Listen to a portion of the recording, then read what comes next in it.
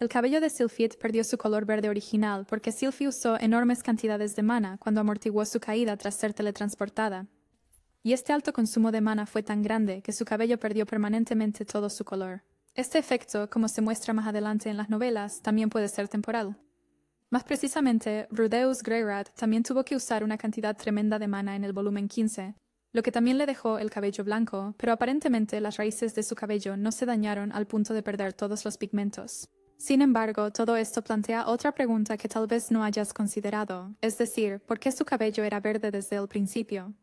Primero, Sylphie fue perseguida y aislada por su cabello verde, simplemente porque fue confundida con un Supert. Durante la guerra humano-demoníaca, iniciada por Laplace, los guerreros Supert en el lado de Laplace causaron incontables masacres entre sus enemigos y sus propias filas. Eran tan odiados y temidos universalmente que incluso siglos después, cualquiera con cabello verde es inicialmente considerado sospechoso y malvado. Pero como se mencionó, Sylphie no desciende principalmente de demonios, sino de elfos, y aquí viene el spoiler. Su herencia élfica proviene específicamente de Dragon Road de Elina Lee. Elina Lee es su abuela, por eso Sylphie también tiene sangre élfica. Sin embargo, su cabello verde viene de nadie más que el dios demonio Laplace.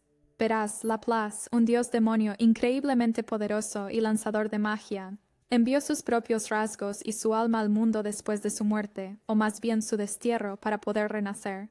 Esto significaba que una pequeña fracción de la población mundial nacería con rasgos como ojos de demonio, cabello verde y un talento para la magia, o con el potencial para tener una reserva de mana extraordinariamente alta. Estos rasgos también se llaman factores de Laplace y a lo largo de muchas generaciones se acumulan y finalmente convergen en un solo individuo. Este individuo sería capaz de albergar el alma del propio Laplace y desencadenar su renacimiento.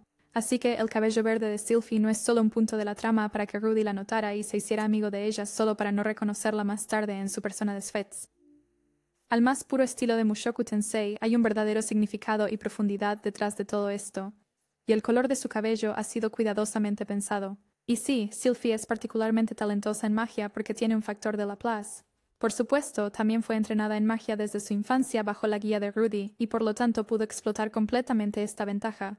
También probablemente ya hayas adivinado que las enormes reservas de mana de Rudy son también un rasgo de Laplace.